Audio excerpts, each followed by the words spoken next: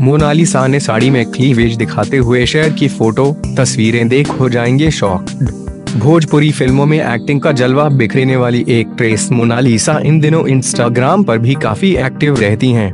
मोना ने एक बार फिर संडे को साड़ी में क्लीवेज दिखाते हुए की तस्वीर शेयर की है।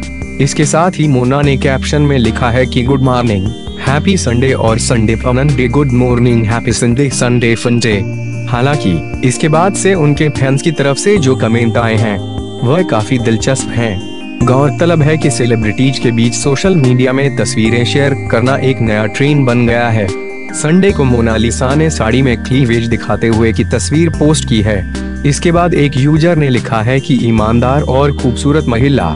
तो वहीं एक अन्य यूज़र ने इस बोल्ड फ़ोटो को लेकर कमेंट किया है कि छुपाना भी नहीं आता और दिखाना भी नहीं आता।